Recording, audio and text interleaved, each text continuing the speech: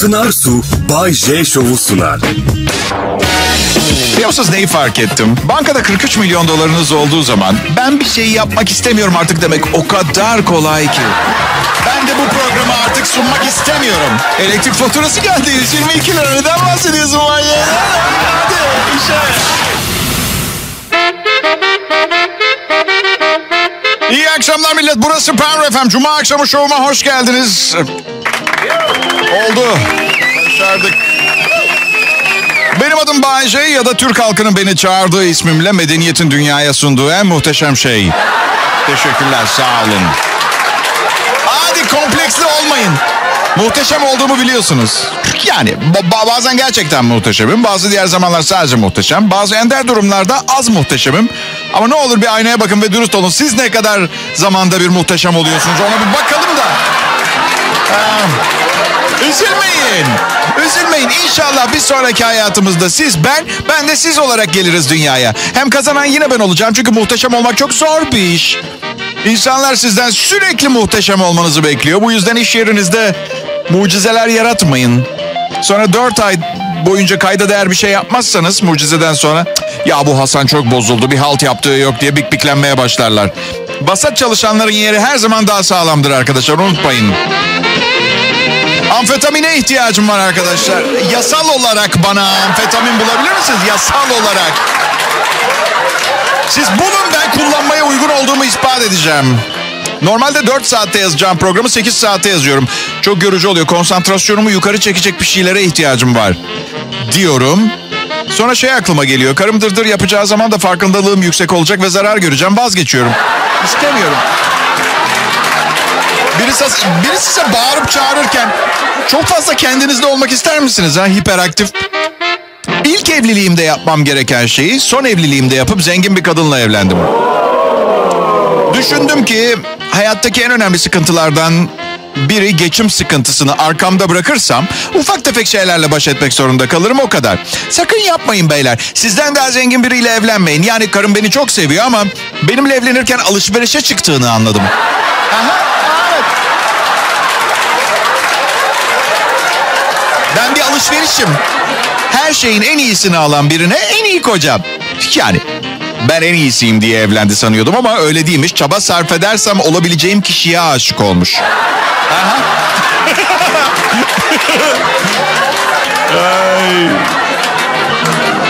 Şimdi hayatım olmamı söylediği şeyleri olmaya çalışıp hiç ihtiyacım olmayan abuk sabuk şeyler satın almakla geçiyor. Bir de size bu programı sunuyorum tabii. Bu arada geleneksel bir durum da var ailede. Evet karım zengin ama evi erkek geçindirir kafası var ya. Bugüne kadar bir doğalgaz faturası ödemedi mesela. Karımın babasının fabrikası var. 294 lira doğalgaz faturasını Bay J ödüyor. Ben niye? Ya. Um, işte zıt kutuplar birbirini çeker. Zıt kutuplardan daha iyi evli çift çıkıyor. Evet kavga filan da ediliyor ama evlilik devam ediyor. Mesela biz zıtız.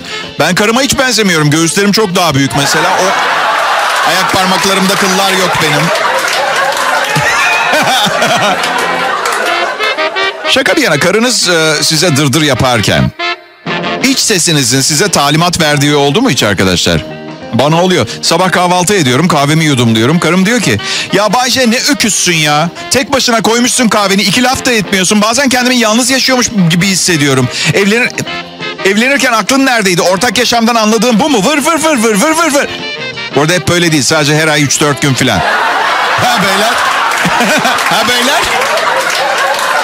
İçimdeki ses diyor ki Bayce her zaman hayalini kurduğun bir artı birde yaşayacağın bekar hayatı için doğru zaman gelmiş olabilir. Gerçekten mi iç sesim? Aa, evet Bayce. Üstelik her zaman hayalin olan mutfağa dev ekran televizyon koyma projeni de hayata geçirebilirsin. İç sesim. Ben karıma değil sana aşıkmışım. Haberim yok. İç ses. Sağ ol Bayce. Bu arada salı akşamları kankalarla bilardo gecesi. Hastayım sana iç ses. Avustralyalı bir adam bir marketten ıstakoz çalmış. Canlı ıstakozu ve bol miktarda karidesi pantolondan içeri doldurmuş. Ödemeden dükkanın çıkış kapısına gitmiş dışarı çıkmış. Evet Craig. Pantolonunda ıstakoz mu var yoksa beni gördüğüne mi çok mu sevindin ha? Güvenlik. Bir müşterinin pantolonunda alışılagelmedik bir hareketlilik var. Istakozun aklından geçenleri düşünebiliyor musunuz? Abi ne oluyor? Aa deniz patlıcan.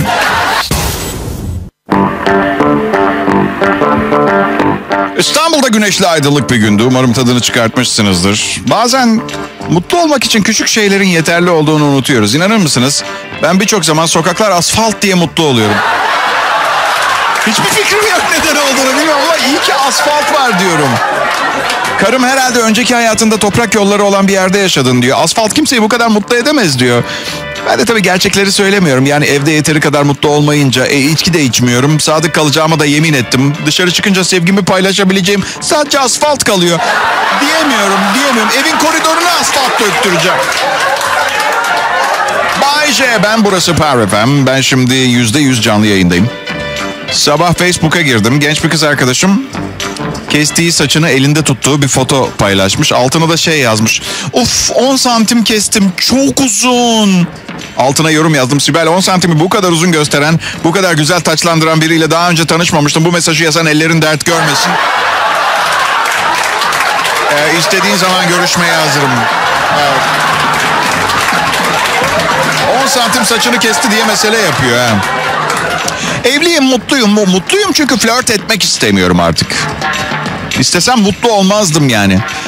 Umarım e, bir daha flört etmek istemem. Dördüncü evliliğimi yapmak istemiyorum. Neyim ben? Nikah manyağı mıyım? Ha? Niye böyle oluyor biliyor musunuz? Kimsenin beyaz atlı prensi olmadığımı ve olmayacağımı biliyorum bu yüzden. Hiçbir kadın beyaz atlı prensini hayal ederken benden bahsetmez. Benim gibi birini düşünmez.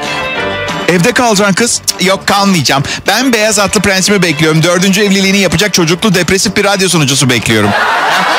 evet beyaz atlı prensim o benim. Bir şey söyleyeyim mi? Gerçekten bunu bekleyen biri varsa sırf acıdığımdan gönlü olsun diye boşanıp onunla evlenmeye hazırım. Ben onu söyleyeyim. Bu saçmalığa bir son vermek için konu kapansın diye. Ay. Eskisi kadar enerjim yok dürüst olayım. Yani zaten bir kadın tarafından reddedilmek can sıkıcı bir şey. Birkaç sene öncesine kadar umursamazdım sıradakine geçerdim. Şimdi yoruluyorum üşeniyorum. Çok fena değil mi bir erkeğin bir kadın tarafından reddedildiğini görmek? Yetişkin bir erkek hayatında ilk defa yüzmeye çalışıyormuş gibi olmuyor mu? Ve sonunda boğuluyor. Ay fena. Şirkette yeni güzel bir kız çalışmaya başladı. Ee, geçen gün yanına gittim. Evet. E, o kadar uzun zamandır kızlara göz kırpıyorum ki. Söyleyecek bir şeyim kalmamış. Şey dedim kıza. Hey yüzün acayip simetrik. Bildiğin kızın suratının dibine kadar gittim. 2-3 defa yalandım ve kıza şey dedim. Yüzünün yarısı diğer yarısının aynısı. Bu çaresizlik niye biliyor musunuz? Siz kızlar bize çok çok çok az yazıyorsunuz da ondan. Ara sıra bize güzel bir şeyler söyleseniz bizim de kuyumuz kurumaktan kurtulacak. Ve biz size geceleri iltifat etmeye devam edeceğiz. Söz veriyoruz. Ama siz de ne olur sabah sabah olduğunda iade-i ziyaret derler. Onu yapıp iltifat edin, tavlamaya çalışın. Ha? Yazın bize. Ekonomi düzelir bu ülkede. Ekonomi sabah saatlerinde bir kadının size yazma ihtimali yüksek olsa her gün sabah 6'da tıraşınız olup parfümünüzü sürüp işe gitmek için evden çıkmaz mıydınız? Herkes çıkardı. Pınar Su'yla Bay J Show devam edecek. Pınar Su'yla Bay J Show devam ediyor. Ben bebekken teyzem beşiğimin yanında zincirleme sigara içerek kart sesiyle ninni söylerdi. Dandini dandini dastana.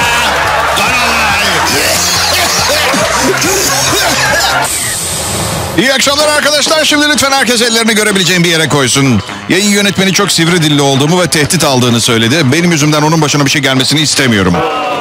Yani benim başıma geleceğindense onun başına gelmesini tercih ederim. En azından bir kere kullandığı şu garip ilaçlar sayesinde topuğundaki acıyı daha iyi tolere edecektir. Garip ilaçlar. Tezgah altı tabir ettiğimiz. Bazı dinleyicilerim yazıp sormuşlar. Sen yayın yönetmeninin uyuşturucu müptelası olduğunu mu iddia ediyorsun diye. Valla ben de ilk şimdi sizden duyuyorum. Ben pirinç unu zannediyordum.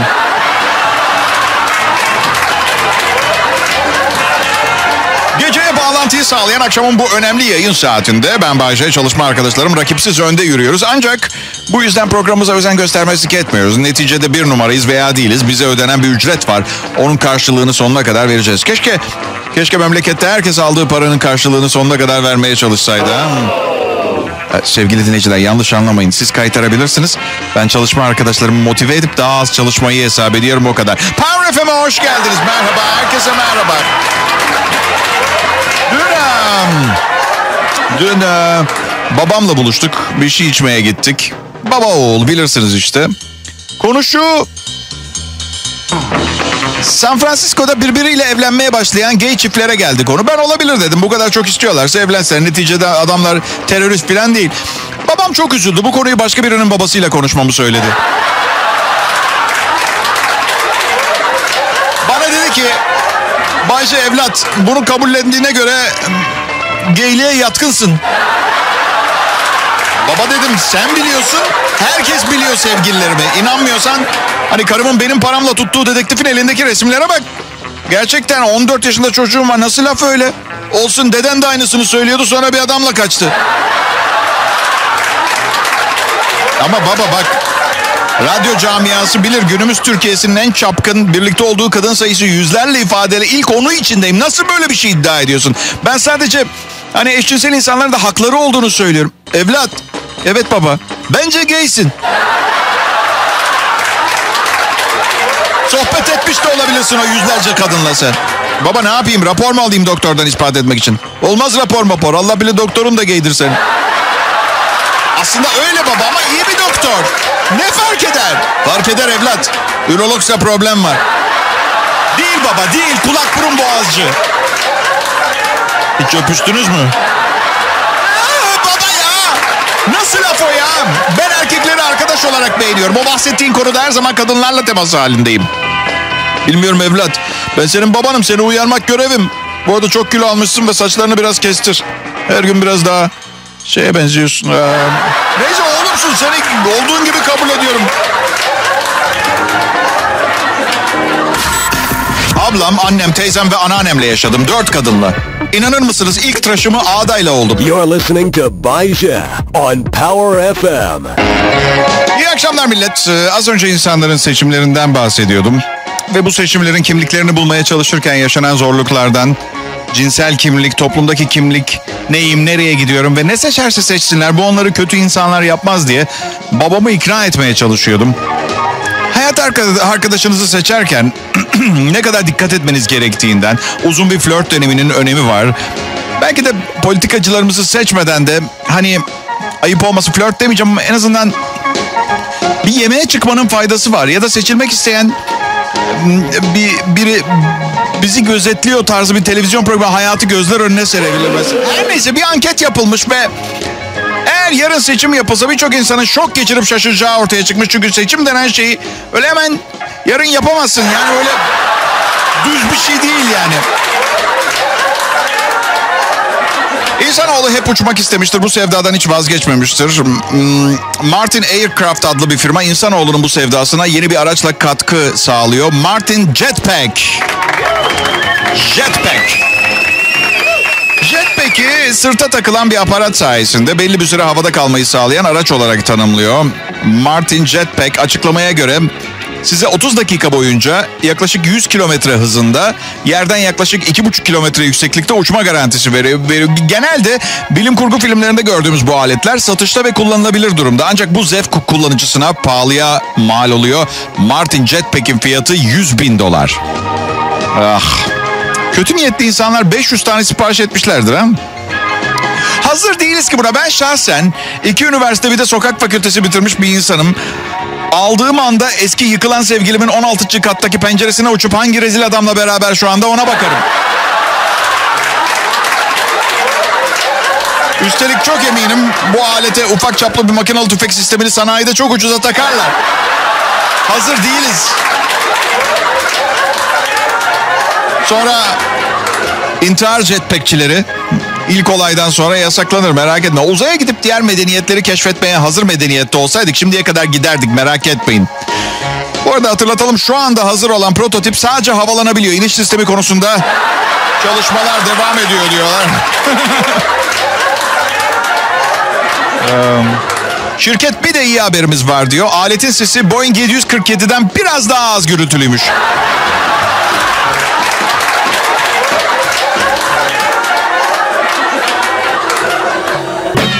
Pınar Su'yla Bay J Show devam edecek. Pınar Su'yla Bay J Show devam ediyor. Tamam sen geldin gidiyorsun. Anladık tamam. Bu çok da önemsemiyor olabilirsin. Ama bizden sonraki nesiller var. O nedenle bu Gidiyorsun dünya... laf değil ya. Bu kadar mı seviyorsun beni ya? Geldin gideceksin zaten. Hadi git. Bu dünya e, sana babandan dedenden kalmış bir miras değil. O nedenle iyi bakman lazım. Ay bana ne? Bunları da- Defter imalatçısı mıyım ben? Ağaç mı kesiyorum ya? Bunları dinlemen lazım, Ha. önemsemen lazım. Akşamlar millet. İyi akşamlar ulusum. Hayat ben Bahçe için artık karanlık ve depresyon dolu, acı ve kederle kavrulmuş bir ortam. Güneş gözlüklerimi kaybettim. Bildiğiniz ucuz gözlüklerden değildi. Hani şu marketlerde otomobil kokularının yanında satılan şeylerden değil. Onları bir gözlükçüden aldım ben. Pahalı güneş gözlükleri. Kendi özel kutusu olan. Yanında özel temizlik bezi falan var. Şu anda kutu boş. Bana açık bir ağız gibi bakıyor. diye gülüyor gitti. Gözlüklerini bir daha asla göremeyeceksin. Belki de bir çift gözlüğe bu kadar para vermemeliydim. Ama alışveriş merkezine gittiğimde vicdanım beni uyarmıştı. Bahçe yapma. Bir güneş gözlüğüne bu kadar para verme. Gene kalbin kırılacak. Ama aldım çünkü her ne kadar radyo işinde kimse yüzünüzü tanımıyorsa da geçmiş hayatımda beni şöhret yapan bazı olaylar yaşadım ve gözlüklerin arkasında saklanıyorum. Nasıl ne mi olmuştu? Otomobilim çalışmıyordu. 5 kuruşum yoktu ve üşüyordum. Tek varlığım bilgisayarımdaki 15 GB ayıp resimdi. 15 GB diyorum. Normal bir insanın ömrü boyunca toplayabileceği. Ancak normal biri olup olmadığım konu sorusunu yayında olduğum geçmiş 25 senede cevapladığımızı zannediyorum. Her neyse. Çaresizdim. Kendimi intihar etme, kendimi intihar diye bir şey yoktur. İntihar etmeyi düşündüğüm zamanlar bile oldu. Aa, e, kadar da korku verici görünmüyordu. Yani düşünsenize bir daha tuvalet kağıdına ihtiyacım olmayacaktı. Neyse. 1996 yılında köprünün üstüne çıktım. Bütün medya oradaydı. Bir yandan yüzümü saklamaya çalışıyor, bir yandan estetik bir atlayış olması için planlar yapıyordum. Çünkü filmlerde görüyorum yamuk yumuk düşüyorlar. Bir de salak madem korkudan altına yapacaktın niye intihar ediyorsun? Neyse sonra uyanmışım. Ee, ama atladıktan sonra o kadar gerçek gibiydi ki. Ve atladıktan sonra köprüyle deniz arasında bir yerde intiharın anatomisini çözdüm. Yarı yolda vazgeçiyorsunuz. Ama çok geç oluyor. Bu yüzden hiç intiharı düşünmeyin lütfen. Don Quixote de la Mancha ne demişti? Sancho dostum ölümden başka her şeyin çaresi vardır demişti. Evet. Hayata sıkı tutunun. Sahip olduğumuz tek şey. Ve bu anonsa başladığımda size bu mesajı vermek niyetim vardıysa ha şuradan şuraya geçmek nasip olmasın. Böyle bir niyetim yoktu. İçerdi sigaraları ondan sonra gelirdi. Ay ne güzel bütün torunlarımı bir arada görmek harika. Anneanne burada benden başka hiç kimse yok. Havayı koklayan adam dün bana açıldı. Dedi ki Bayşe dedi hayatımda kimseyi istemiyorum. Kendimi o kadar çok seviyorum ki kendimle evlenmek istiyorum dedi. Burası Power FM. Harika bir cuma akşamında size bu programı sunmak. İnanın bana yıllardır düşünüyorum. Sanırım en kolay geçim sağlama yolu. Valla. Yani bak Yani bundan bir kolayı hırsızlık ama onda da yakalandım mı 10 sene içeride yatıyorsun. Hiç alaka ya bu budur. Ve her sene bu zamanlar izin kullanasım geliyor. Böyle Mart, Nisan gibi. Oysa ki hata daha güzel havaları beklemek lazım. Evet otomobilin turbo fonksiyonu zamanından önce çalıştırmak gibi benimki. Zaten oğlum da öyle doğdu benim. Evet.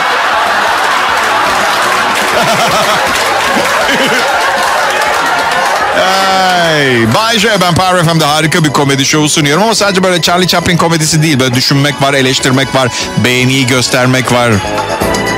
Ee, neyse yakıt fiyatlarına bakarsanız zaten yazın arabayla nereye tatile gideceğimiz belli oldu en azından. Ee, Kilyos. Ee, İstanbul'da Kilyos. Benzinciye doldur demek imkansız zaten. Yarım depo lütfen. Geçen gün bir tanesi yarım dolu mu yarım boş mu dedi. Evet, pompacıları küçümsemeyin. Şaka yapma fırsatı verildiğinde barjaya olabiliyorlar. Ee, ne yapacağız, ne yapacağız, neyden bahsedeceğiz? Değer bilmek, hiçbir şeyini vermek istemiyor insanoğlu. İyice bencil oluyoruz. Bak bugün okudum, organ bağışları çok düşmüş. Tabii bahsettiğim gönüllü organ bağışları. Evet. Bu arada, bu arada başkasının organıyla yaşamaya devam etme konusunda tereddüdü olanlar için bazı bilgiler. Altını ıslatan birinin böbreği takıldı diye size de aynı şey olacağı gibi bir şey yok. Veya bir ressamın elini taktılar diye iyi resim çizmeye başlamıyorsunuz. Veya bir eşcinsel adamın kalbini taktıklarında erkeklere aşık olmuyorsunuz. Çünkü her ne kadar masal kitaplarında kalp olduğu söylense de aşk fonksiyonu beyinde başlıyor biliyorsunuz değil mi? Zaman zaman da vücudun farklı yerlerinde başlıyor. Olur, olur. Ama kalp değil. Ha evet birkaç yan etkisi oluyor aşkın kalbe. Mesela terk edilince kalbiniz ağrıyor. Bir süre sonra başka yerler de ağrımaya başlıyor.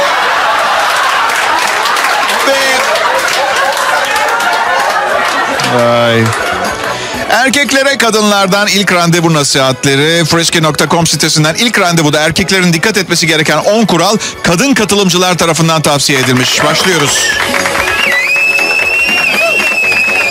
Bir, kontrolü ele alın. Ne tür yemek ve mekan sevdiğimizi sorun. Ondan sonra siz seçin. Seçimi asla bize bırakmayın. Sen erkeksin, erkek gibi davran diyor kadınlar. Evet. İki, gülümseyin. Buluştuğumuzda gülümseyin. Pozitif yaklaşıma iyi cevap veririz. Sırıtmayın, gülümseyin. Üç, vücut dilinize dikkat edin. Bacak bacak üstüne attıysanız ve eliniz ağzınızı kapatıyorsa bir şey sakladığınızı düşünebiliriz. Dört, biz kadınlara sorular sorun. Dikkat çekmeyi severiz. Beş, dinlemeyi bilin. Bir sürü soru sorup sonra dinlemezseniz olmaz. Altı, iltifat edin uygun bir şekilde. 7 özgüvenli davranın. 8 saldırgan olmayın. Yakınlaşmaya karar verdiysek bunu size zaten belli ederiz demişler. 9 hesabı ödeyin. Yorum yapmayın ödeyin bunu isteriz. Alman usulü önermeyin yarısını ödemek falan istemiyoruz diyor kadınlar. 10 iyi geceler deyin. İlk randevuda dolambaçlı yolları seçmeyin. Sarılın belki küçük bir öpücük. Bunu doğru yaparsanız ikinci bir randevu kapabilirsiniz diyorlar. Çeneni kapa ve yemeğini bitir. Sonra neler olacağını net bir şekilde konuşalım. 45 yaşındayım kaybedecek zamanım yok. Şu anda beslenme saati sonra sevişme saati. Kontrol bende özgüvenim tam ye diyorum sana. Hadi ye. Hesabı ben ödeyeceğim. Rahat rahat ye.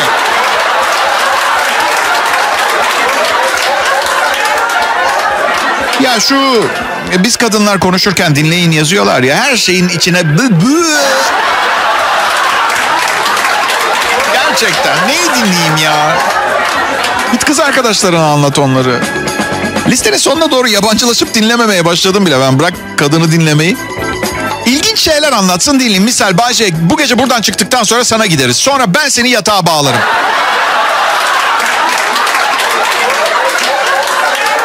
Nasıl? Dört kulak. Ben bir keresinde kızın yanından kankalarımı arayıp abi büyük ihtimalle bende kalırız demiştim. Kız gitmişti. Evet. Hani özgüven işe yarıyordu? Ha, ne oldu? Benim dileğim şu 5-10 tane patriot füzesi temin edip bu yayınlayan yayın organı yayın yayın yayın yayın yayın yayın yayın organlarına atmak. Evet.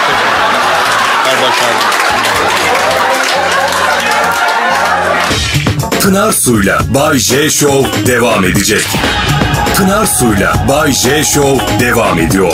Çalışma arkadaşlarım havayı koklayan adam, e, prodüksiyon asistanım Engin, yayın yönetmenim Burçin Açer. Onları anons etmekten çok hoşlanıyorum. Çünkü günlük hayatlarındaki en önemli şey. Benim onları anons ediyor olmam durumu. 25 senedir profesyonel komedyenlik yapıyorum. Sevgili dinleyiciler, aptallığın ilacı yok sevgili dinleyiciler. Eğer çok sevdiğiniz DJ'inizin bir gün zeki şeyler konuşacağını umarak beklemeyi sürdürmek istiyorsanız siz bilirsiniz ama burada hazır olanı var. Yani akıllanmış sayılabilecek bir aptal. Her zaman söylüyorum çok genç sunucuları size verebileceği fazla bir şey yok. Ne yaşamışlar ne biliyorlar ki size anlatsınlar. Hayatı hayatı tiye almak ansiklopedi okumakla olmaz ki. Bir kere artık gençlerin her şeyi var. Fakirliği yaşamadan, yokluk görmeden eleştiremezsiniz. Ben küçükken çok fakirdik. Zaten paramız olsa da alacak hiçbir şey yoktu. Her yer kardı, her yer yokuş yukarıydı. Annemler çok fakirdi, çok. Anneannem hep düğünde yemek yeneceği için evlendiklerini söylerdi. Ne günler ama. Neticede şunu söylemek istiyorum. Çok çok çok paranız olduğu sürece fakir veya zengin olmanız önemli değil. Her neyse biraz fazla uzadı. Dinleyiciler benim. Bu işe çok genç yaşta stand-up komedyen olarak başladım. Çok küçük yerlerde çıkıyordum. Ben ancak sığıyordum öyle söyleyeyim. O kadar küçük yerler. Sahne adım Joker'di.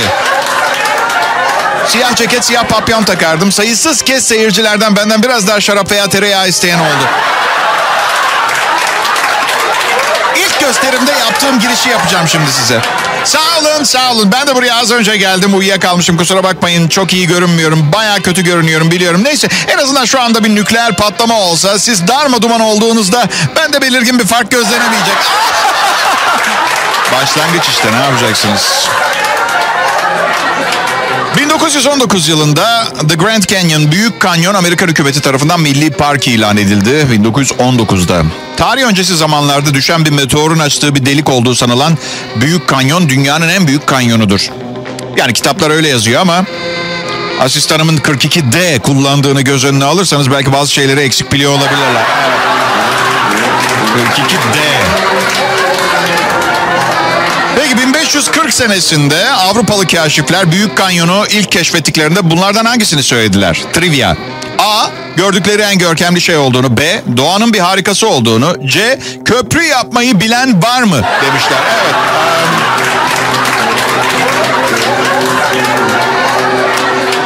Um, um, nerede kaldık? Um, Power FM'i dinliyorsunuz. Cuma akşamı. Umarım keyifli bir şeyler yaparsınız bu akşam. Um, ben um, radyo işine girmeden önce çıplaklar kamplarına gidip fotoğraf çekip dergilere satardım. Ee, bugünlerde öyle bir saçmalık yapmanın alemi yok. İnternette satıyoruz. Ey, zor işler ha. Hayatı seviyorum. Yalnızca ayaklarımızın altından bu kadar hızlı geçip gitmesi beni biraz korkutuyor. Teknolojinin gelişim hızı inanılmaz. Mesela cep telefonlarına bakın. 20 sene önce var mıydı? 20 sene önce var mıydı? Var mıydı 20 sene önce? Ben 97'de bakayım 97, 2007, 2017. 20 sene önce. 20 sene önce yoktu. Yani atıyorum mesela Little Weapon filmini izlediniz mi? Mesela Mel Gibson'ın elinde sürgülü gardırop boyunda bir cep telefonu var. Ve ben diyorum ki adama bak cep telefonu var. Şimdi telefonlarda böyle 15 megapiksel fotoğraf, video, oyun, mp3 falan indirebiliyorsun. Şimdi yeni bir model geliyor. Büyük babam bile duyabilecek beni. 88'de kaybettik büyük babamı. Çok şakacı bir adamdı. Çok şakacıydı. Şimdi kendisinden bahsettiğimi duyunca hoşuna gitmiştir. Ya da gitmemiştir ama zaten birazdan anlarız. Bir sonraki anons zamanı geldiğinde beni burada mikrofon yemek borumun içine kadar girmiş bulurlarsa ki bu iyi ihtimal. Çok hoşlanmamış olabilir. İyi hafta sonları. Pınar Su Bay J Show'u sundu.